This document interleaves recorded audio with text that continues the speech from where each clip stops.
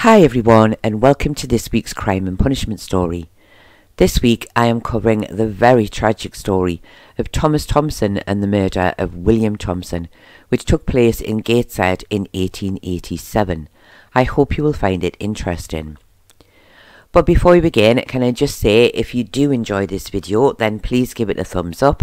And if you are new here or haven't already done so, then do please consider subscribing to the channel to help support the content we create. Thank you. It is completely free to subscribe. It doesn't cost you any money, but it really does help to support the channel. And I would just like to add, as I always do now, that I do record these stories live, so I do sometimes make mistakes, which I always try to rectify. So I hope this does not spoil your enjoyment of the video. The past lives of those involved in this week's case were impossible to find, due to the fact that one was just a child and that the family had been in various different workhouses in recent times, it was not really possible to find any information about them, so the past lives will be very basic. Thomas Thompson was said to be around 39 years old in 1887, so would have been born in around 1848. His place of birth and parents are unknown. He had been married, but it seems that his wife had died as he was bringing up his two children alone. The family were living in Gateshead, and Thomas was described as a labourer. Herbert, the oldest son, was seven years old, and William, the victim, was only four years old. It seems that on at least three occasions the children had been in different workhouses in the northeast area at the request of their father. No mention is given of Thomas being a heavy drinker. On the morning of January the 16th, Herbert Thompson awoke to find his father Thomas standing over him with a knife in his hand. It seemed he was attempting to cut his throat. Herbert was able to escape and ran towards the door. When he looked back, he saw his father lift his brother William from the bed where he had been sleeping. He shouted to William to wake up and run away, but although William tried to get away from his father, his father was too strong for him, and he cut the young boy's throat. Herbert was making so much noise at the doorway that a neighbour, Jane Strawn, heard him and ran for her mother, Mrs. Yeaman. When she arrived, she found Thomas sitting on the bed. He was not wearing any clothes, and William was lying beside him. She picked William up, and within minutes the poor boy had died. Mrs. Yeaman's daughter ran into the street and began to shout out murder at the top of her voice. She was heard by a neighbour who went to fetch a policeman, and P.C. Rutherford quickly arrived at the house. He found poor William lying on the bed, covered in blood. He asked what had happened and who had done this, and Thomas said he had. He then handed P.C. Rutherford the blood-stained knife. A doctor was sent for, and when he arrived he knew at once that nothing could be done for William. The cut to his neck had severed the jugular. Thomas was taken to the police station where he was later charged with the wilful murder of his son William Thompson, to which he simply replied, not guilty. The inquest was held at the town hall in Gateshead before Coroner Graham. Jane Yeaman said she had identified the body as being that of William Thompson, son of the prisoner who was four years old. She would be recalled for further evidence later. Herbert Thompson said he was seven years old, he would be eight years old in April, and he lived with his father Thomas and his brother William in Gateshead. He said on January the 15th he had gone to bed as normal. He shared the bed with his father and William. He did not remember his father coming to bed that night, but when he woke the next morning his father was standing over him with a knife in his hand. He said the felt he said he felt the knife on his chest, but after a little struggle he was able to get away and ran towards the door. He looked back to where his brother William was sleeping and saw his father lift him up and lie him on the top of the bed. He said he shouted, Willie, me da will kill you. He said this made William wake up, and he said although he tried, he was not able to escape his father, and he cut his throat.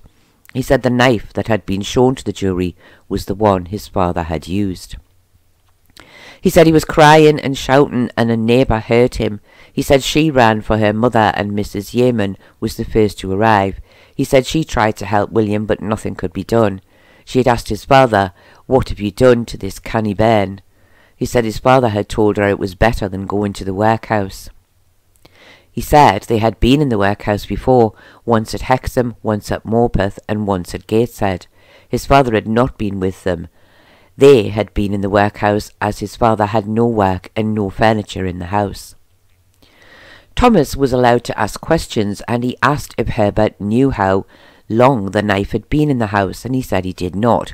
Then Thomas, strangely addressing his son as little boy, said, Can you tell me, little boy, that you ever saw the knife in my possession? Herbert replied by simply saying, Yes, when you were going to cut me, I saw it. Herbert was then asked if one of his thumbs was cut and he replied yes, his dad had done it when he was trying to run away from him. Thomas then spoke to his son again, asking him repeatedly if anyone had spoken to him since the 16th. Herbert simply began to cry, and Thomas said, I am sorry, son, I don't want to make you cry, but I need to know if anyone has said things to you since Sunday. Herbert, who was still crying, said he had spoken to no one but the police. Jane Strawn said she was living with her mother in Gateshead in the rooms next to the Thompsons. She said on the morning of the 16th she had heard Herbert crying. She also heard him shout out, Oh, da, da, don't cut my neck. She said she knew it was him as she recognised his voice. She ran to her mother's room and they both went to Thomas's rooms. She said Thomas was sitting on the bed with no clothes on and William was lying on the bed covered in blood and Herbert was crying beside the door. She said her mother went to William and tried to help him, but nothing could be done. She then went outside and shouted out murder, and a policeman arrived a short time later. Thomas had also dressed and gone out, but she didn't think he'd gone for either the police or a doctor. She added that she had seen Thomas on the Saturday and he had asked her to give him the knife. He said he would sharpen it and then use it to cut bread for the children. The knife shown to the jury was the same one. When asked, she said she had seen blood on Thomas's chest when she had first arrived at his rooms. Jane Yeaman said she also lived in the rooms next to the Thompsons in Gateshead. She said she said she had been she said she'd been in the Thompsons' house on Saturday night. She, sorry about that. She had been in the Thompsons' house on Saturday night. She had been the one to put the two boys to bed. She said she had not heard anything on the morning of the 16th, but her daughter had told her what she had heard, and she said they both went to see Thomas and his children. She also said Thomas was sitting on the bed with no clothes on. She said as soon as she saw William, she tried to lift him into her arms. She said he was still alive, but barely, and he died in her arms just a few moments later. She said she had spoken to Thomas and said, Oh, what have you done to that canny bairn, my poor little Winnie, that innocent bairn? She said Thomas had replied, saying, It's all right, missus, it's better that I did that than let them go to the workhouse. She said Thomas had dressed and gone out of the house just after William had died. William Collins said he lived in Gateshead. His home was opposite that of Thomas Thompson. He said on the morning of the 16th he had been in his kitchen when he had heard someone outside shouting, Murder! Police! He had looked out and seen Mrs. Strawn and her husband in the street, both still in their nightclothes. He said he had gone outside and spoken to, him, to them. They told him what had happened. He went up to the rooms and saw the poor boy. He said, Mrs. Yeaman said to him, Please go and fetch a policeman or somebody. He said Thomas was beside the bed dressing himself, but he did not seem to be rushing, so he himself ran out to find a policeman. P.C. Rutherford said he had been near Askew Road in Gateshead when he had heard the shouts. He was heading in the direction they were coming from when Mr. Collins found him and told him of the child's death. He said they were both heading towards the house when Thomas came up to him. He said, It's no good going any further because the job's done. He said he told him he would have to come back to the house with him, and Thomas said he wanted to go to the station, but P.C. Rutherford said he took no notice of him and took him back to the house. He said on entering the house he saw the child lying on the floor in a pool of blood. He said he asked Thomas who has done this, and Thomas replied in a low voice, Me. He asked Thomas what he had hurt the child with, and he said he got up and went to the bed and removed a knife from under the pillow and handed it to him.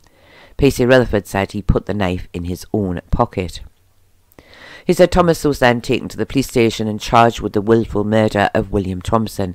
He said Thomas just replied with the words not guilty. He did not make any further statements. Dr. Kay said he had been sent for by Sergeant Trotter, and on his arrival at the house he had found the body of a little boy lying on the bed. He said there was nothing that could be done for him. He said he had also performed the post-mortem on the body of William Thompson. He said he had a large cut to his throat which had severed the jugular, and the cause of death had been blood loss due to the wound. He had also examined Thomas at the police station.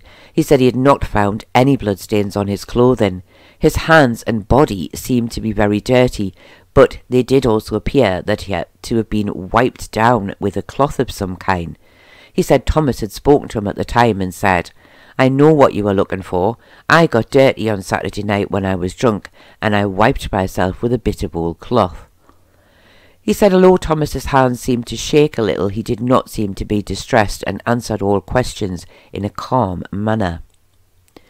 Dr. Kay said he had later been shown the blood-stained knife and the stains had been fresh, and he had also been shown a blood-soaked cloth, which was said to have been used by Thomas to wipe himself down and Detective Jarvis said he had found the blood-stained cloth under a kitchen table in the house.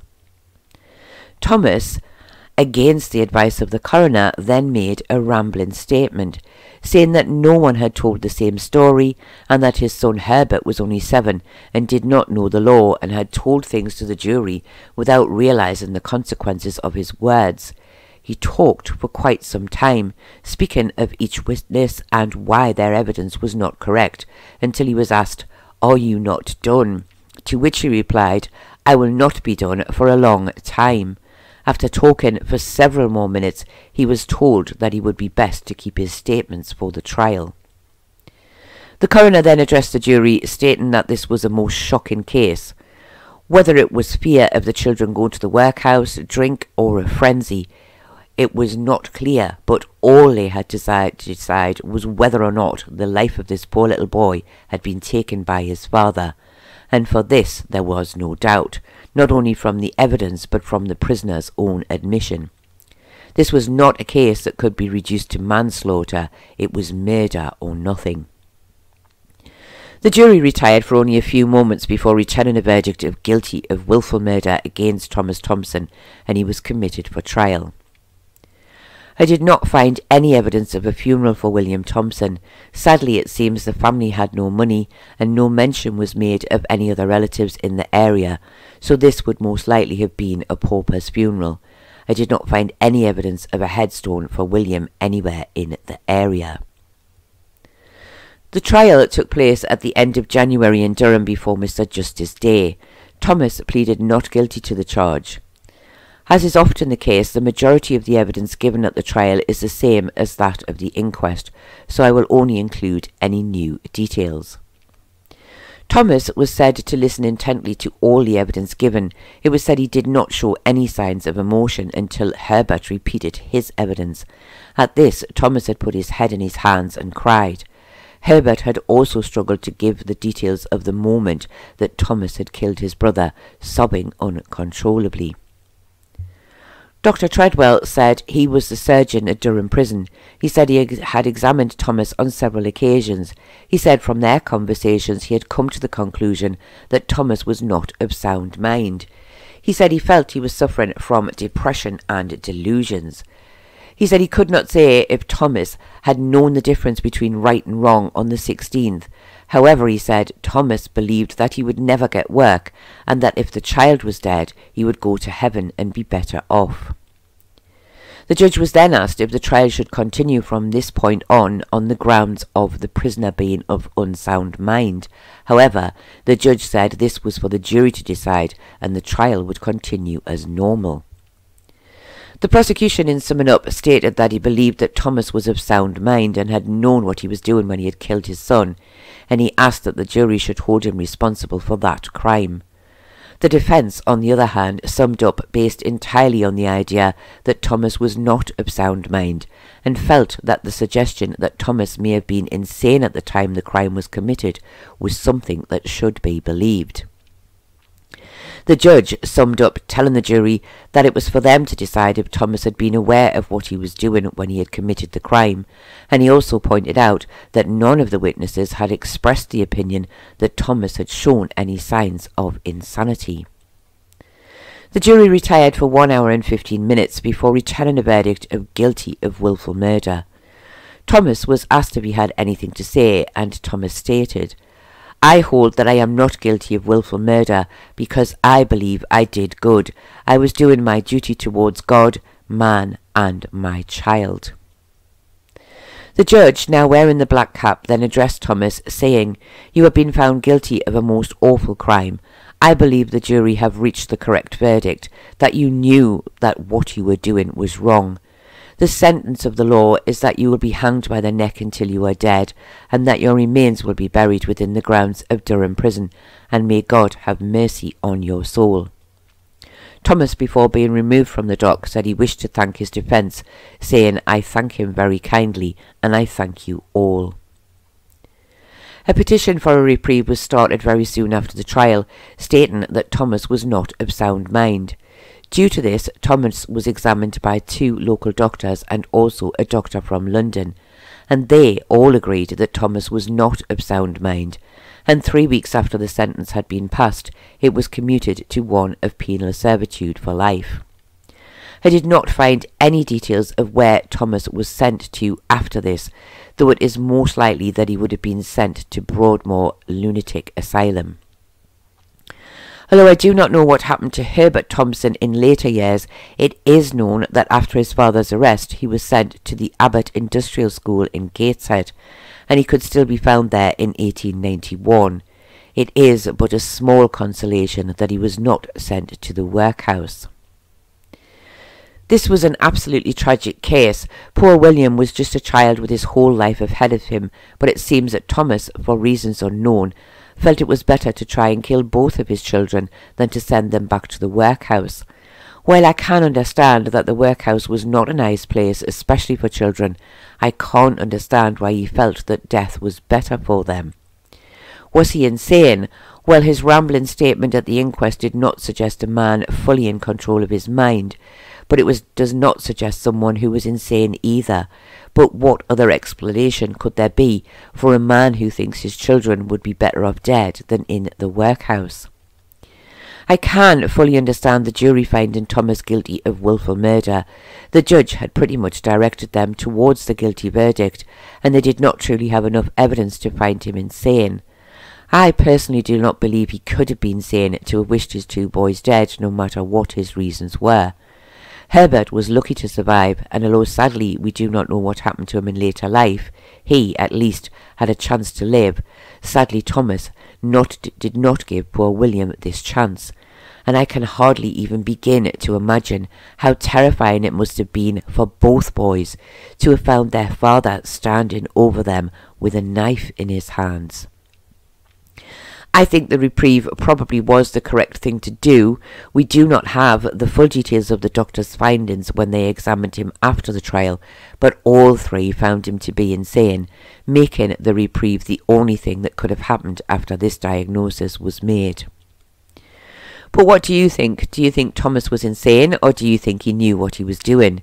Do you think a reprieve was the correct ending to this tragic story? And can you find any way at all to explain why Thomas felt his children would be better off dead? Especially when you consider that at no time did he suggest he was planning to take his own life after that of his children's. Do let me know your thoughts in the comments below. I do hope that you have found this very sad and tragic story interesting. I do thank you all very much for watching and I do hope to see you all again very soon.